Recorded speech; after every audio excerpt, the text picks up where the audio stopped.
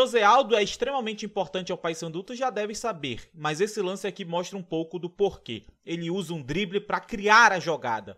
Em um toque simples, ele consegue se livrar da marcação, joga na área e dá uma assistência para o Papão abrir o placar. Ele é um atleta que participa muito da posse de bola. O José Aldo é importante ao Paysandu porque ele é um jogador que tanto mantém a posse de bola, como consegue utilizar ela de maneira progressiva, como também quando o Paysandu não tem a posse, ele consegue recuperá-la. José Aldo, inclusive, deu duas assistências na Série C, líder do Paysandu, deu quatro passes-chave, é o segundo maior número, tem 11 desarmes, segundo maior também, e tem 17 dribles, ou seja, participa bastante do jogo. Nesse lance aqui a gente vê que com um movimento ele se livra de dois jogadores, se livra da pressão. E por que isso é essencial ao Paysandu? Claro, qualquer time vai precisar de um jogador desse tipo, mas o Paysandu é um dos times que mais troca passes, é um dos times que mais fica com a bola.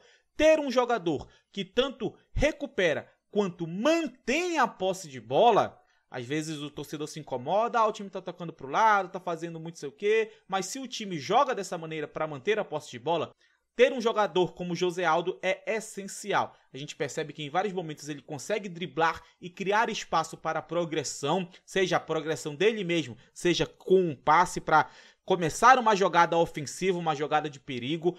Muitas vezes até participa do jogo defensivamente desarmando, recuperando ou fazendo pressão ou até mesmo cometendo faltas. Ele já cometeu muitas faltas nessa Série C, mas ele é esse tipo de jogador, um jogador essencial para o controle da posse de bola. Paysandu é um time que gosta de ter a bola, que quer ter a bola, e o José Aldo é essa peça essencial, também porque ele consegue ter passe-chave, ter passes de ruptura, um atleta que dá esse passe para quebrar a linha de defesa do adversário, criar espaço e aproveitar esse espaço.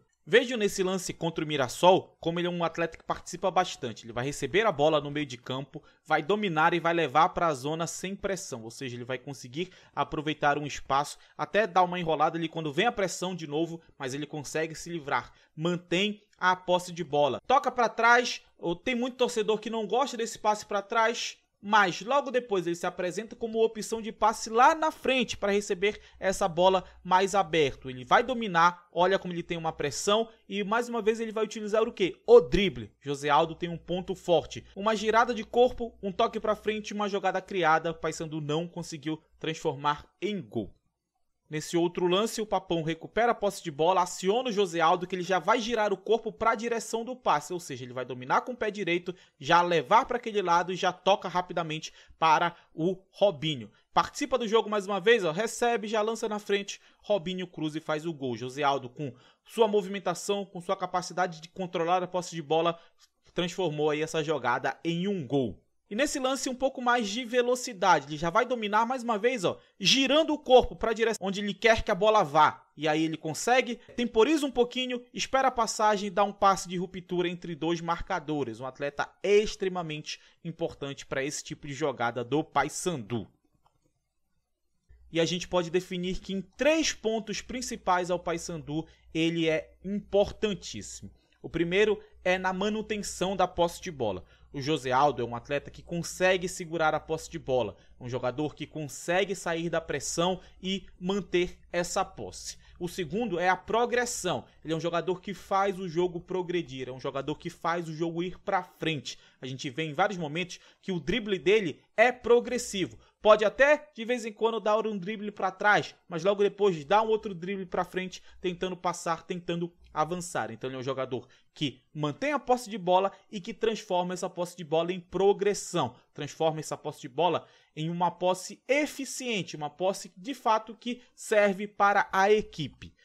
Dentro disso, ele usa muito o seu drible, porque ele consegue, com dribles curtos, com jogadas rápidas, se livrar da marcação e criar espaço para avançar. E um outro ponto que ele é extremamente importante é na recuperação da posse de bola. Um jogador que trabalha muito bem com desarmes, um jogador que disputa bastante, que comete muitas faltas sim, mas que é extremamente importante para o Paysandu fazer uma pressão. E a gente viu contra o São José a dificuldade que foi para o Paysandu jogar sem um jogador que sai da marcação pressão, que consegue encontrar passes decisivos, que consegue desarmar bem e que consegue criar chances de gol. Inclusive contra o São José foi a partida que o Paysandu menos criou chances de gol. Curiosamente, e não foi coincidência, a única partida na Série C que o time não teve o José Aldo. Então é isso, galera. Muito obrigado. E aí, o que, que vocês acharam? O José Aldo é o melhor jogador do Paysandu nessa Série C? O que vocês esperam do meio-campista no restante da temporada? É isso, galera. Valeu e até a próxima.